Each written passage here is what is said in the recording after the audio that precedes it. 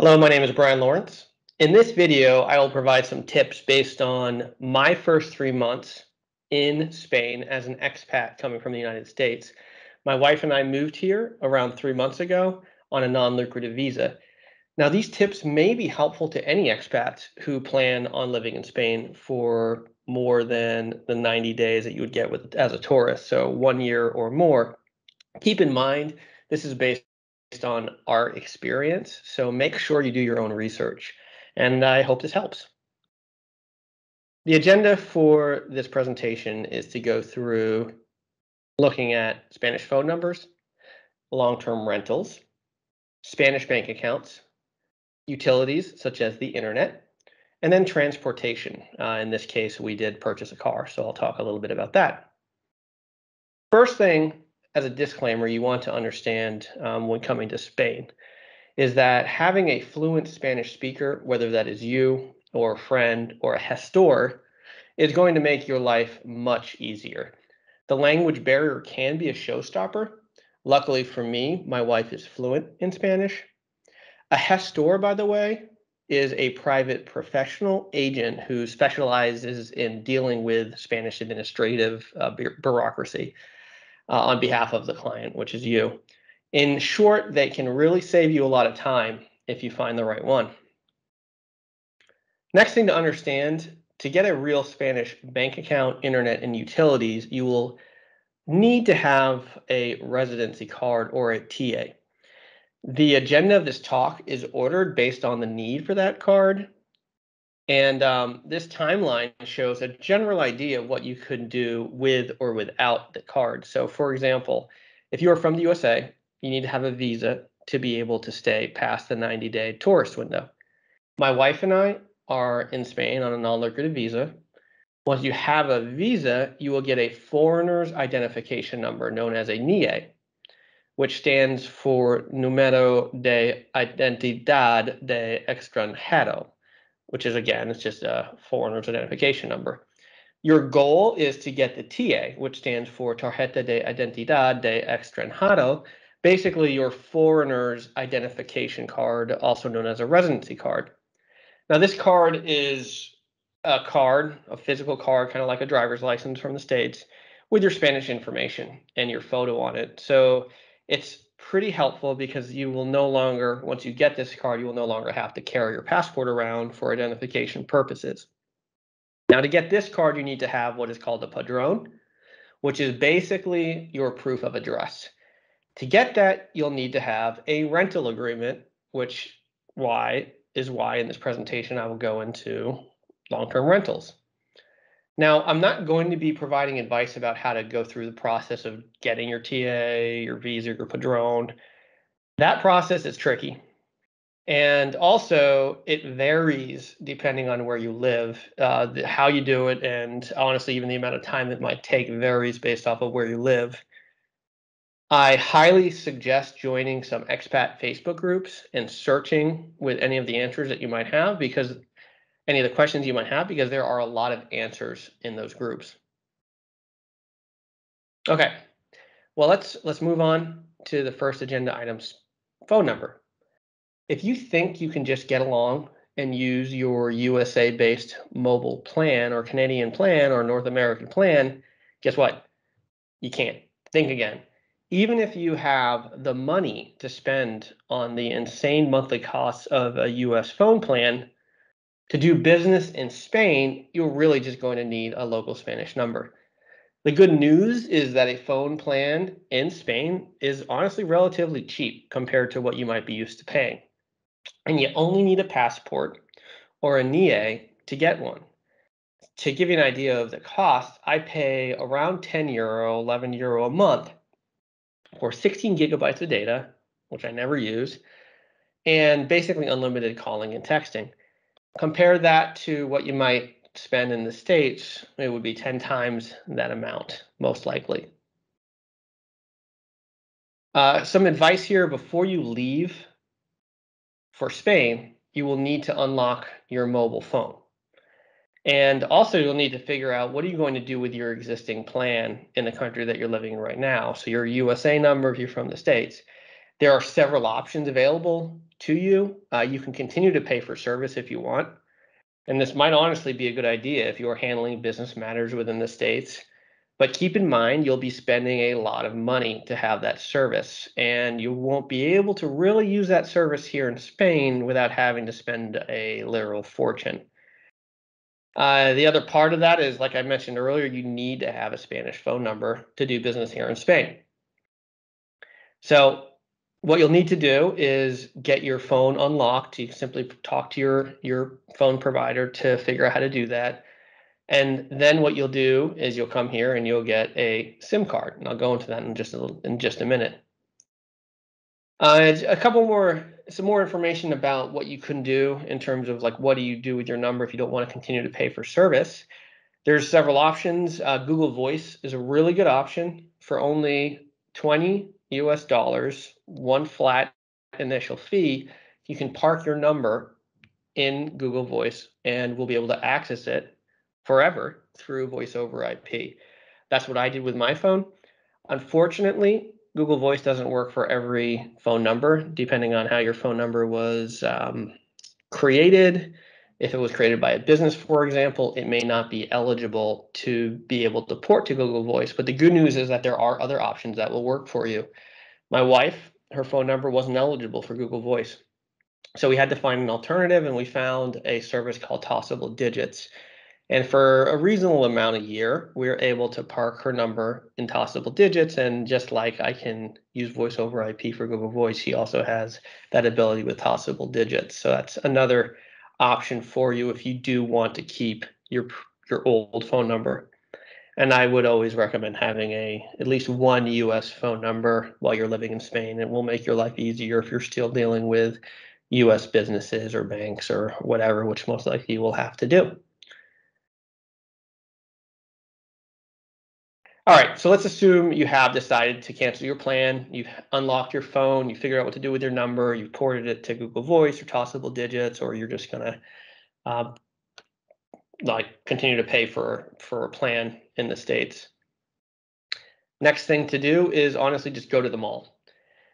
First thing you should do is head to that mall, and what you'll do is you'll find that any of the stores in the mall, any of the mobile phone stores in the mall will have the option to purchase a prepaid SIM. In the case that we found, we found this company called Lebara, which was uh, a, a phone mobile provider that actually uses Vodafone's network. So the network is really good. And again, for 10, 11 euros, I pay, uh, I get 16 gigabytes and it's really, really cheap.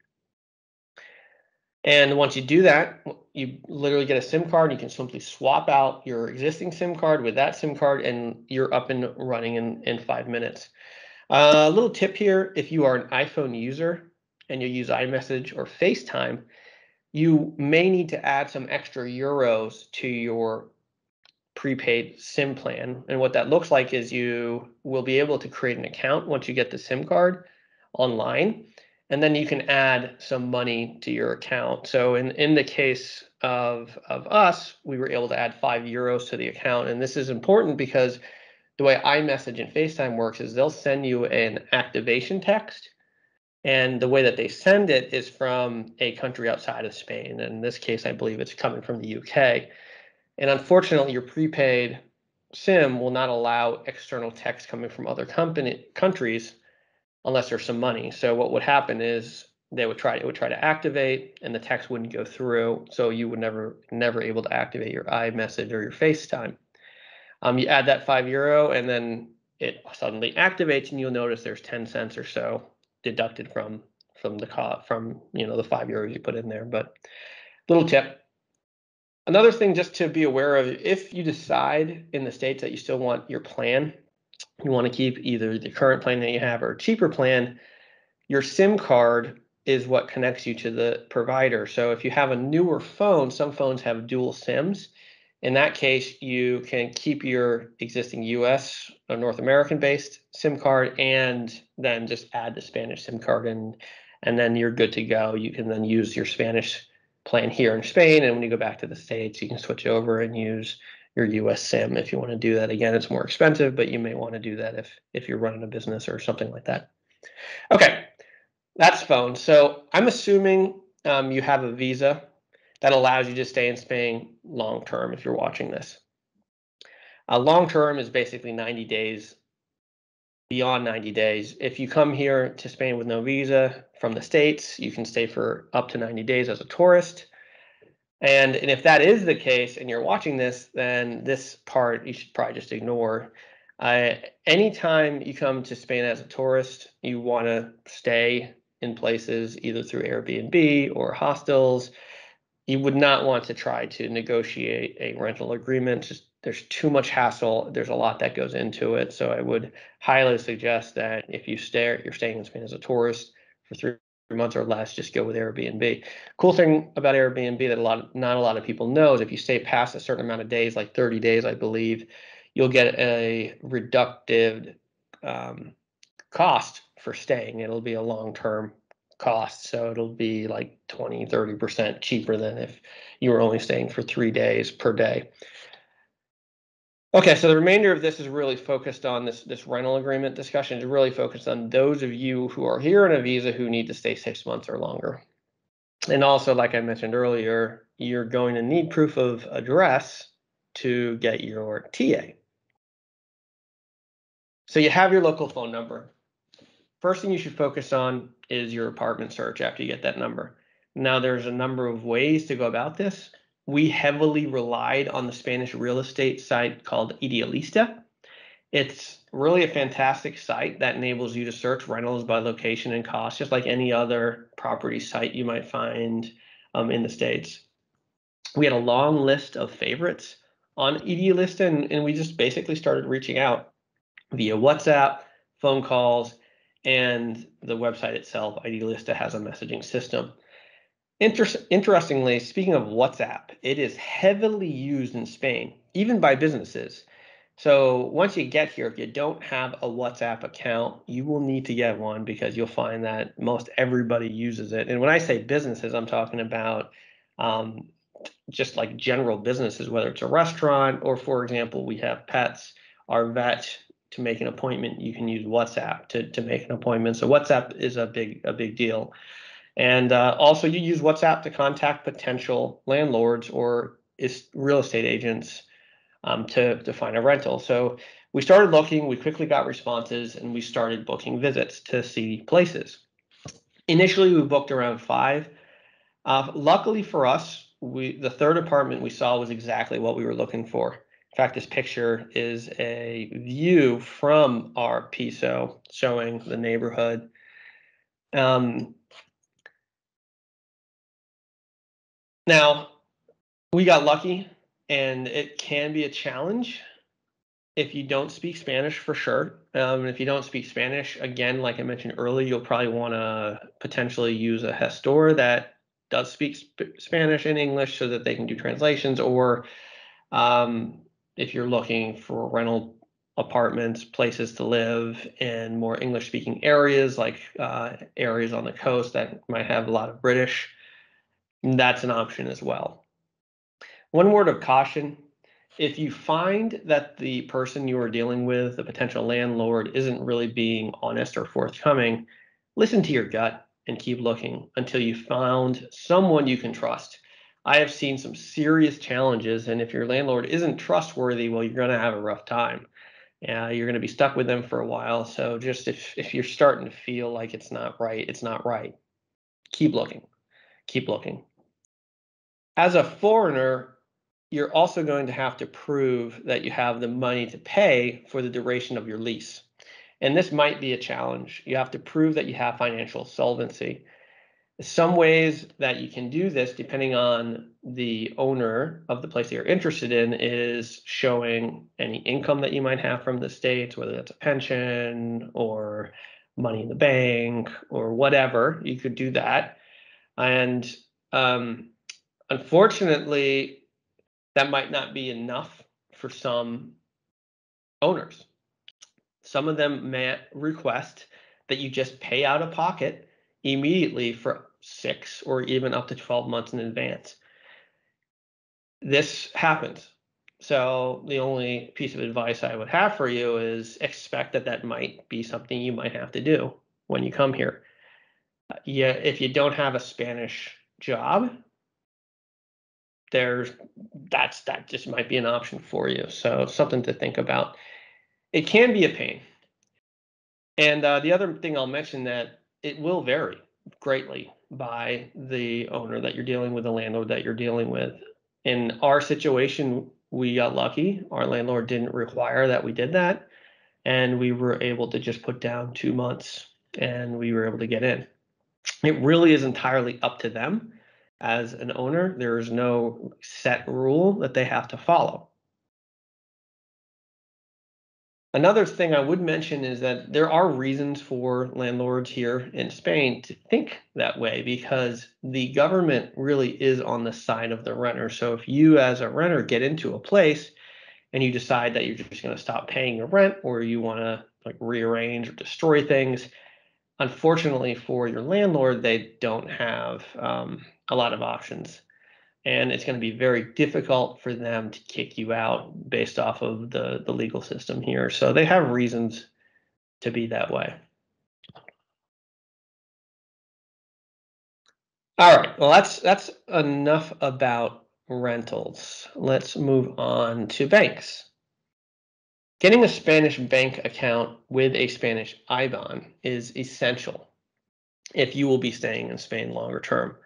The primary reason for this is that you most likely will need a Spanish bank account with that IBAN to pay for utility utilities, such as electricity, internet, and water. Another reason that you want to think about is that sometimes your non-Spanish bank card won't work. I have found that my US based credit cards and bank cards do work 99% of the time here. But there are situations where occasionally it just just doesn't work. For example, I attend a local Spanish school here to learn Spanish, and their online payment system just won't accept my non-Spanish credit card for some reason. Finally, if you are here in Spain on a visa, such as like a non-lucrative visa, having a minimum amount of money in your bank account consistently can also help with renewal. So it's another reason why you might want to have a Spanish bank account. All right, in this section, I'm going to provide some insight into our journey with creating that Spanish bank account.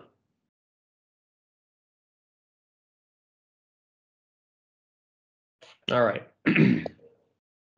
Within the first month before we had our TA, we spent some time visiting and, and evaluating various banks looking to open up checking accounts. The table here shows our results. Keep in mind, this is again what we found from visiting each of these banks and applying in person for a checking account. This might have changed by the time you're watching this. It's also possible that depending on who you talk to at the bank might change um, might change, might be different from another person at the bank. It's just the way it is. But this should give you a general idea. So we'll take a look at each. Uh, Abanca. This is a larger bank here in Spain. And honestly, there's just no way to get an account without a TA. And even with a TA, once you have that residency card, they, Abanca, wanted to have a, you to have a Spanish job. So this was an absolute no-go for us. Now, uh, on the bright side, when we walked into the office for Abanca, it honestly was just a mess. It seemed like they were living in the 90s, and uh, you just didn't get a good feeling. So I would say Abanca, don't even waste your time with them. They're not going to be helpful to foreigners. Bankinter. This is a, definitely a more modern bank, and yes, you can get an account without having a TA, so you can get one with your NIE. However, uh, non-resident accounts are are fairly expensive. They have some fairly expensive fees. And even after that, they had some fees as well. Uh, they weren't as expensive as a non-resident, but they were still fairly expensive. Uh, Deutsche Bank, they do not provide accounts to anyone without a TA. However, this bank will provide an account after that and depending on how much you transfer into that account a month, you could avoid maintenance fees. However, we did see that they also charge for international transfer, so that's another thing you might want to take a look at as you're exploring banks. Sabadell. So this is another bank like Bankinter that will provide an account if you don't have a TA. But this is similar in that there will be fees with the out the TA, there'll be fees with the TA. And I, I believe Sabadell, when we were talking to them, they had exceptions. Uh, but those exceptions for for basically free accounts were like having an investment account with them or other types of uh, programs that they had available. So again, this really wasn't a good option for us. ING. Now, ING, they do not provide accounts to anyone without a TA. However, similar to Deutsche Bank, they may have some very low fees or reduced fees or potentially free accounts if you bring in enough money to your account once a month, that type of thing. I will say that ING is a very modern bank and has a real good reputation. So this this bank should be considered. When we walked into ING, for example, uh, very modern. There was a lot of organization. As soon as we walked in, we didn't even have to wait in line. Uh, one of the bank bank people who were there walked up to us and asked us what we were there for. They obviously noticed we were foreign, and they explained that without a non-resident account or non-resident card, um, without a TA, without a resident card, we wouldn't be able to open an account. So we were only there for five minutes. But ING seems like a good place, so I would I would recommend checking them out. All right, finally, last two here, BBVA. They provide accounts to non-residents and residents. If you have your TA, you can actually create an, a free online account with no fees. Uh, this is the bank we went for for our long-term needs. Uh, if you don't have your TA yet, you can open an account with an EA, but it'll cost you some money. So BBVA is is potentially a, a good way to go. It's a modern bank. Again, they have that online account with no fees. Finally, N26. So N26, this is a really good bank to get into as soon as you get into Spain because you can open an account for free with no fees with your NIE without having that TA, without having that residency. Uh, N26 will then get you that Spanish IBAN, which you can then use for utilities. Although I have heard that depending on the utilities, uh, sometimes they have a problem with N26 because it's a newer bank. I believe N26 is out of Germany, uh, and uh, they've had challenges in the past. N26 also potentially has challenges when it comes to Spanish government and the hacienda or the taxes. Currently, at least as of the recording of this presentation, and you can't pay taxes in Spain with N26, although this might change in the future. Bottom line, our approach here was to get an account as soon as possible, and we were able to do that in the N26 with no fees. And then once we got our TA, we went to BBVA because that's a more established bank and you won't have any problems with utilities or the government with BBVA that is our uh, adventure with Spanish banks. Okay, finally, let's move on to not finally, but we're going to move on to utilities next. So utilities, once you have that Spanish IBAN bank, you can now go ahead and sign up for getting yourself internet and utilities if required. Quick note that depending on where you live, you may or may not need to deal directly with utility company. For example, some landlords allow you to just pay them directly and they will pay your utilities. Uh, you will need to make sure again that you have that level of trust that with that landlord. And honestly, with our landlord right now, we don't have to directly pay the electric company. What happens is our landlord takes a picture of the bill, sends it to us, and then we just include the payment for that bill in our monthly rent.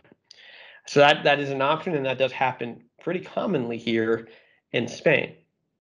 Regardless, we have to pay internet. You will most likely have to pay some type of utility directly.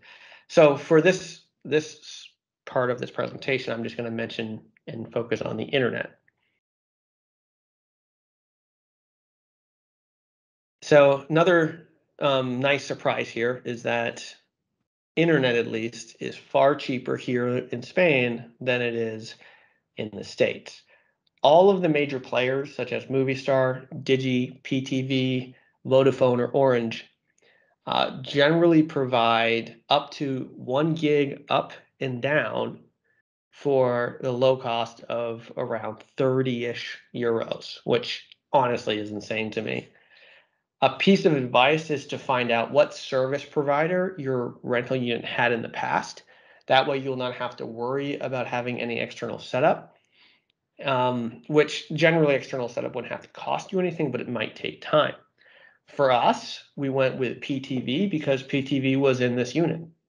And we were again able to get 30 get one gig up and down for only 30 euros a month, which also included cable channels for a year.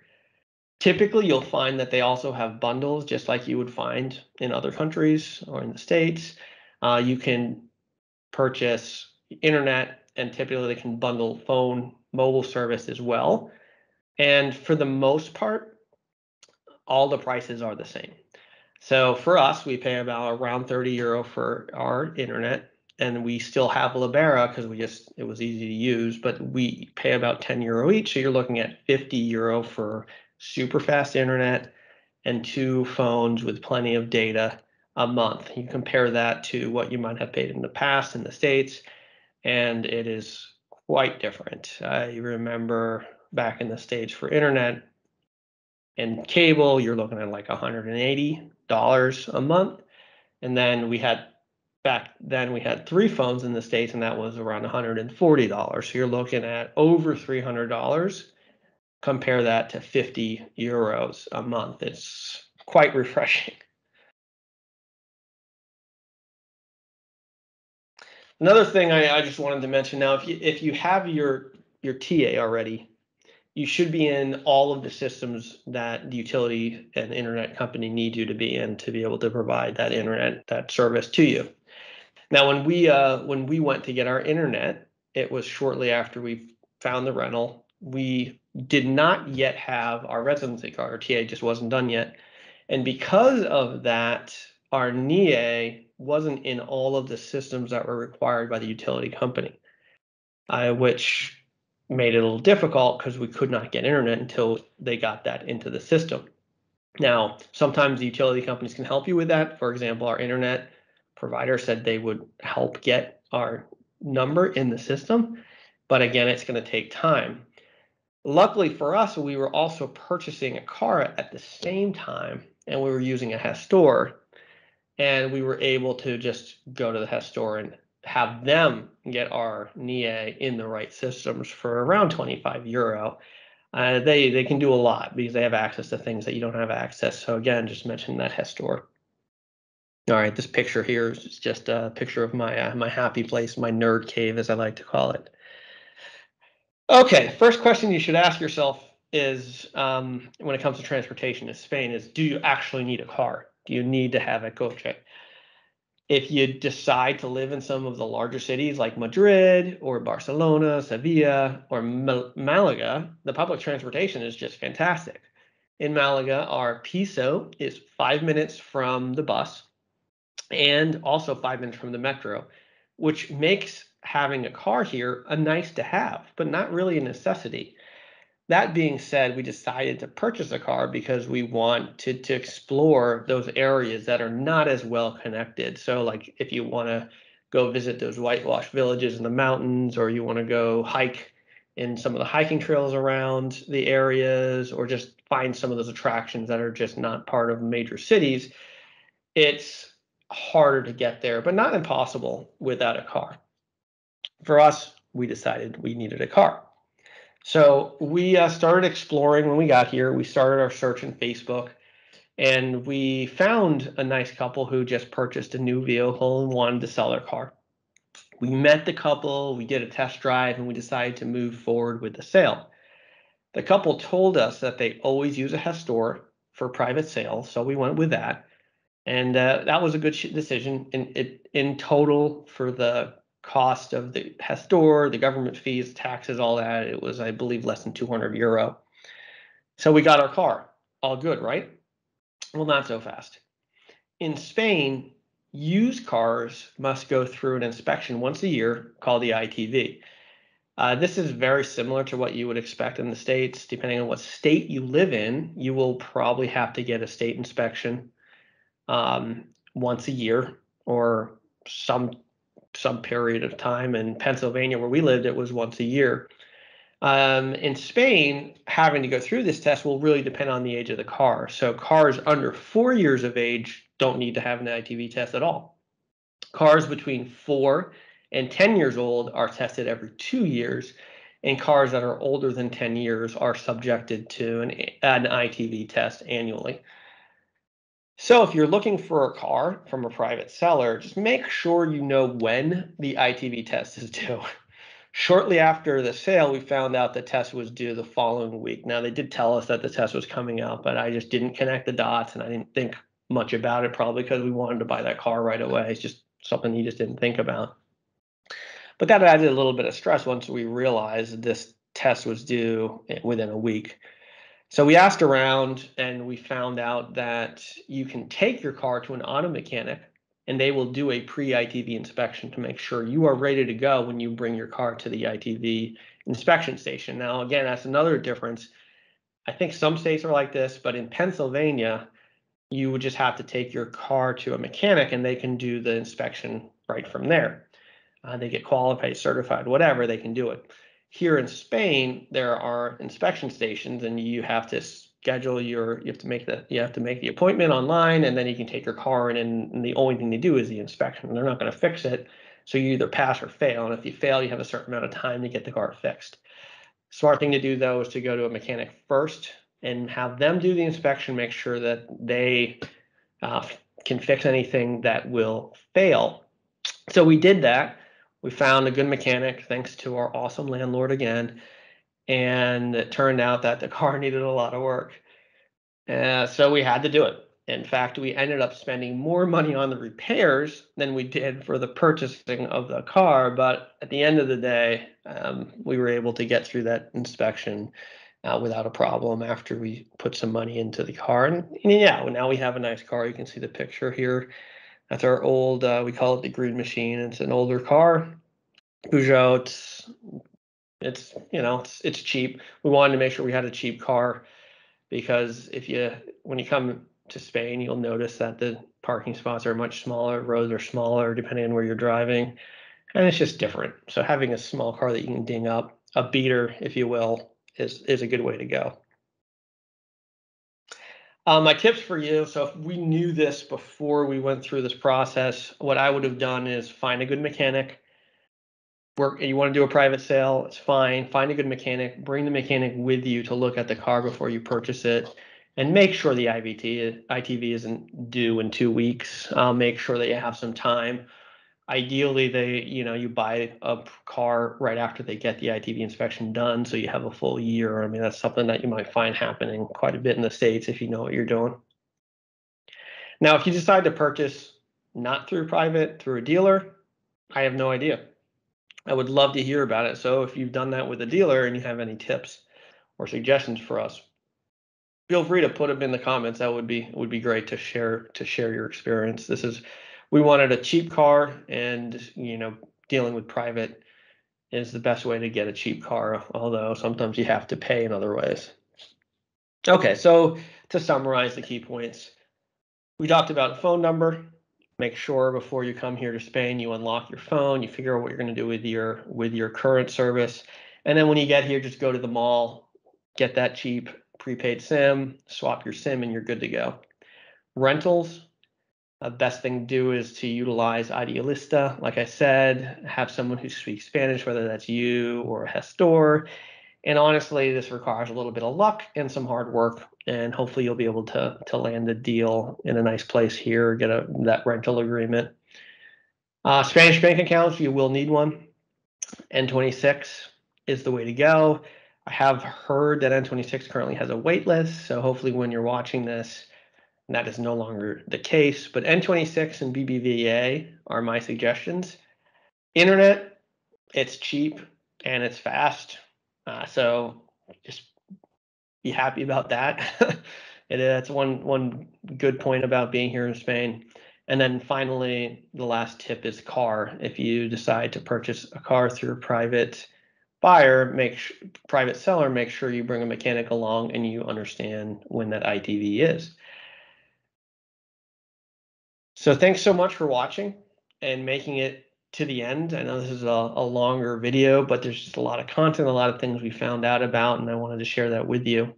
Now, if you like this video and you're interested in expat living in Spain, feel free to subscribe. As I learn more, uh, I plan on putting some more videos out.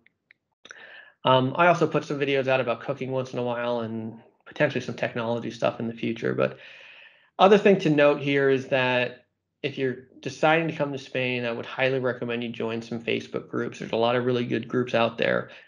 The community in these groups are really good most of the time and if you have some questions they should be able to answer those questions we i'm, I'm personally a member of all the groups here american expats in spain american expatriates in spain american in spain expats in malaga so i live in malaga but if you're you know going to madrid or sevilla or barcelona or any other place i'm sure that they have expats in that place so i would highly recommend subscribing uh, finally, here's some references. A lot of the images I use in this in this talk are from unsplash.com. So if you're ever looking for, if you ever need to create a good presentation and you want some good images, feel free to go to Unsplash and you can find some really good good images. But again, thanks for watching. I appreciate it and you have a great day. Bye.